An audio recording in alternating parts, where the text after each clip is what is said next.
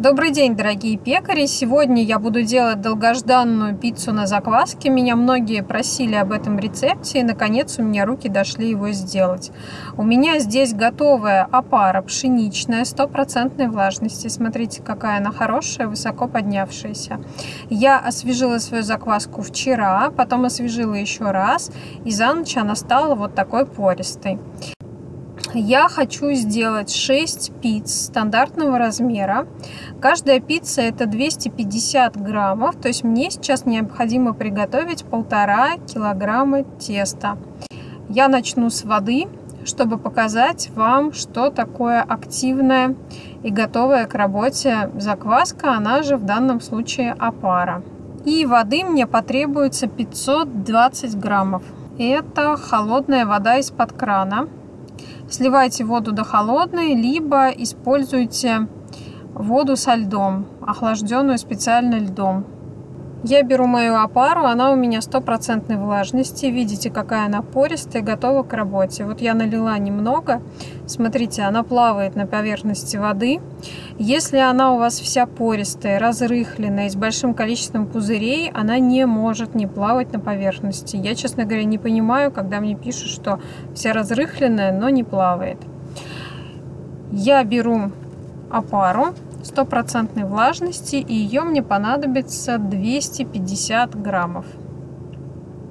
Добавляю ее в воду. Здесь достаточно большое количество опары, потому что я хочу, чтобы у меня тесто а, выбродило быстро, за короткий промежуток времени, поэтому процент опары я повысила. И добавляю муку высшего сорта. Это обычная хлебопекарная, бело-нежная. Муки понадобится 730 граммов. Убираем весы и начинаем замес. Тесто на пиццу должно быть мягким, но не очень влажным. Это менее влажное тесто, чем, например, на чебату. Влажность его где-то от 70 до 75 процентов. То есть оно мягкое, податливое, достаточно текучее, но не жидкое. Поэтому смотрите по влагоемкости вашей муки, оно должно быть достаточно такое податливое, мягкое. Сейчас я смешиваю все ингредиенты и оставлю на короткий аутолиз, чтобы мука впитала воду. С этой мукой я работаю часто, поэтому я достаточно смело налила довольно много воды. Все, я смешиваю все ингредиенты и сейчас оставлю тесто примерно минут на 30 постоять и потом буду добавлять соль и буду замешивать это тесто. Мое тесто постояло 30 минут. И сейчас я добавлю соль и оливковое масло. Соли около 8 граммов нам потребуется. 8-10, если вы любите посоленее, можете 10 положить, можно 8. И еще в пиццу желательно добавить оливковое масло. Я не буду его отмерять, я вот прям на глаз налью пару столовых ложек. Оно добавит текстуры тесту, мягкости. Ну и, естественно, привкус оливкового масла нам тоже в этом тесте не помешает. И дальше я начинаю замес при помощи шпателя. Это очень удобно. Не буду выкладывать на стол. Прямо шпателем в миске вы видите, как за время аутолиза у нас развелась клейковина. Тесто мягкое, эластичное. Именно такой а, текстуры я и хотела добиться. Сейчас мы его по кругу замесим берем с краю и в серединку, с краю в серединку.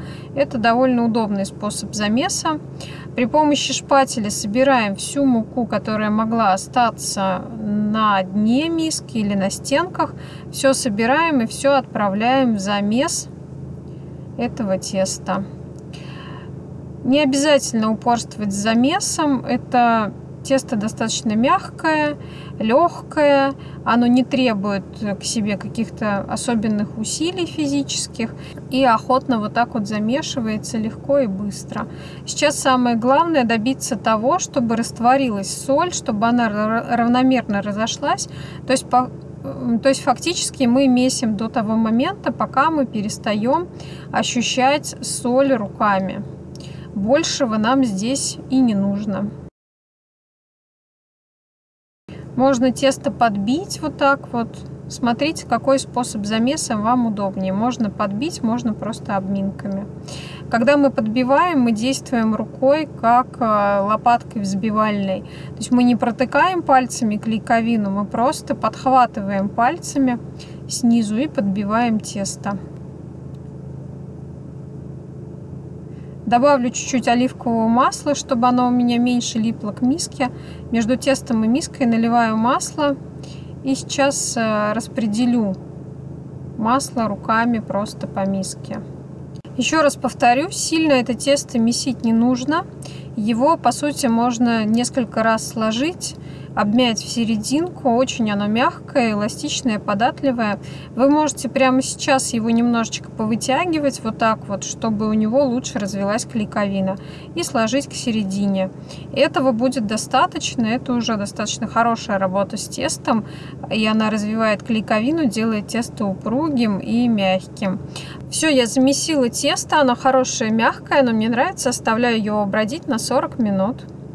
Тесто у меня прошло брожение в течение 40 минут. Сейчас мне его нужно вытянуть и сложить.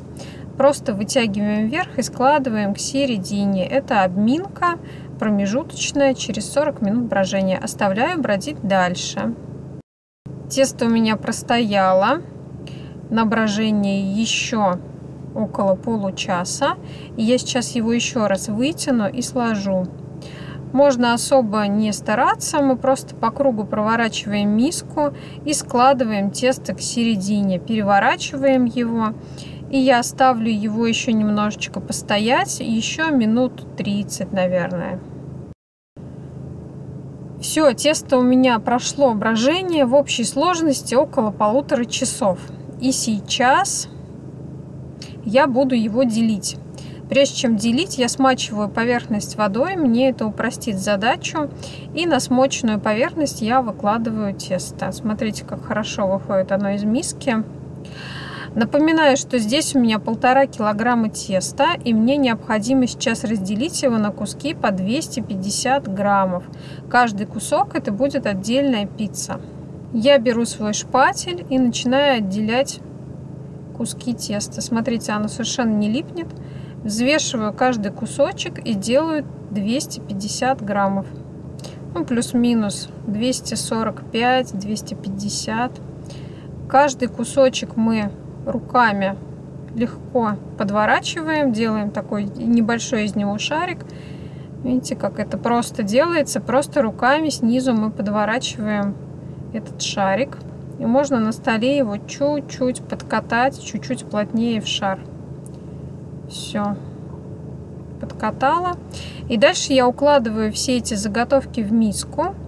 Миску я потом вам покажу. Она у меня смазана маслом. И продолжаю делить дальше. В итоге у меня получилась вот такая миска. В ней 6 заготовок на пиццу. Они у меня сложены буквально бок к боку. Я сейчас полью чуть-чуть оливковым маслом и сделаю так, чтобы масло у меня позатекало между заготовками.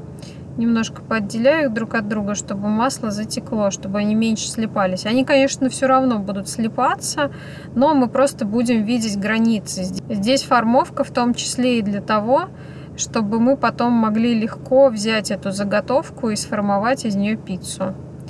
Повторяем несколько раз эту процедуру. Я все промазала, я их отделила. Сейчас я накрою все это пленкой и поставлю в холодильник. И по мере необходимости буду выпекать. Могу петь через сутки, а могу и позднее. Оставляю, накрываю пленочкой. Сейчас приступим к формовке пиццы. Смотрите, как у меня тесто поднялось.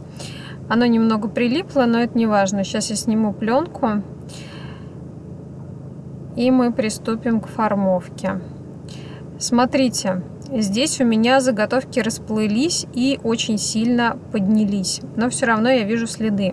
На самом деле прошло уже двое суток с момента постановки этого теста. Вчера я пекла часть пиццы. И сегодня у меня осталось еще 4 заготовки. Сегодня у меня гости, поэтому я буду продолжать формовать сейчас эту пиццу. Вчера я не успела снять, было некогда, а сегодня я вам покажу, как же делается формовка. У меня сухие руки. И сейчас я буду формовать эту пиццу. Так, что мы делаем? Я буду формовать ее на муке. Беру семула ремончата. Эта мука очень хорошо подходит для формовки. Можете взять манку твердых сортов пшеницы. Она тоже прекрасная для формовки.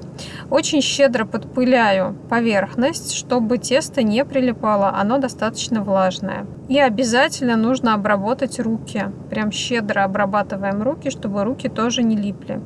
Берем и отделяем. Прям не бойтесь, прямо отделяйте ту заготовку, которую вы видите. Она, конечно, прилипла, но это не страшно, мы ее отделяем, помня о том, что это как раз на одну пиццу. Округляю вот так вот руками, подворачиваю ее под низ, тесто мягкое, и начинаю пальцами растягивать. Я прохожу по периметру, то есть прокручиваю заготовку теста в руках. Чтобы не липло, мы ее обмакиваем в муку, приподнимаем и снова на весу начинаем ее растягивать. Можно растягивать вот так на кулаках, то есть мы вешаем на два кулака и постепенно начинаем тянуть в стороны нашу заготовку постепенно проходя все по кругу. Я не пиццейола, я не умею крутить пиццу, поэтому буду растягивать ее таким способом. Опять же вешаю на кулаки и прохожу круг за кругом постепенно. Можно в руках это делать. То есть мы начинаем от середины и идем к краям, постепенно, постепенно растягивая пиццу. Когда она достигла более-менее уже приличных размеров, мы можем продолжить делать то же самое на поверхности, просто аккуратно растягивая руками. Можно раскатать, но в случае вот такого влажного теста, на мой взгляд, раскатка нежелательна, вам будет неудобно это делать. Поэтому растягиваем руками. Не беда, если у вас получается не очень ровно, это не страшно, это домашняя пицца, и она ну, имеет право иметь какие-то недостатки и не идеальную форму. Самое главное это вкус. Растягиваем, стараемся не порвать тесто. Дырок быть не должно.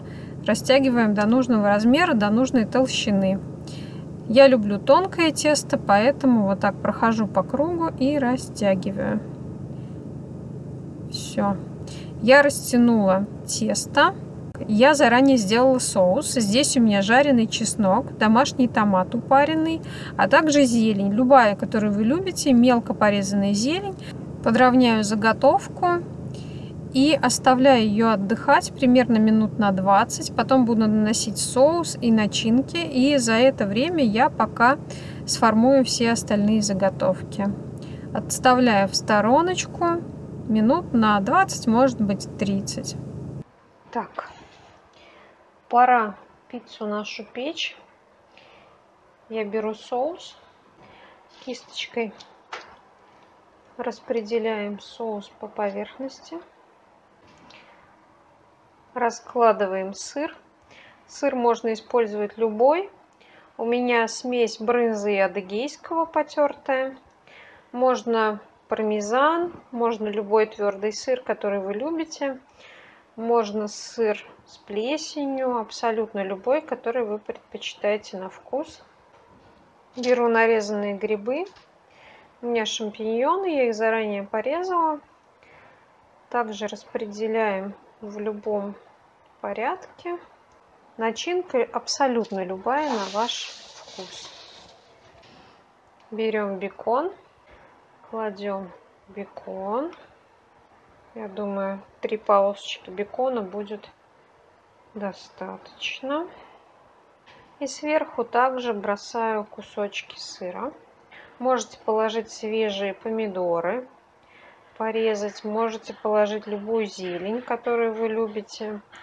Можете положить каперсы. То есть начинка совершенно любая, которую вы предпочитаете. Все. И сейчас у меня духовка разогревается на 300 градусов. Если у вас 300 градусов духовка не дает, ставите максимально возможную температуру. Отправляете в духовку на примерно 20 минут. Может быть 15. Смотрите по состоянию вот этого теста. Как только оно становится румяным, можно вынимать. Пицца моя готова. Сейчас я сниму ее бумаги. Она очень горячая, только что ее вынула. Ну а теперь берем нож для пиццы, разрезаем и наслаждаемся. Пока еще очень горячо. Сейчас я дождусь, когда она остынет, и будем пробовать.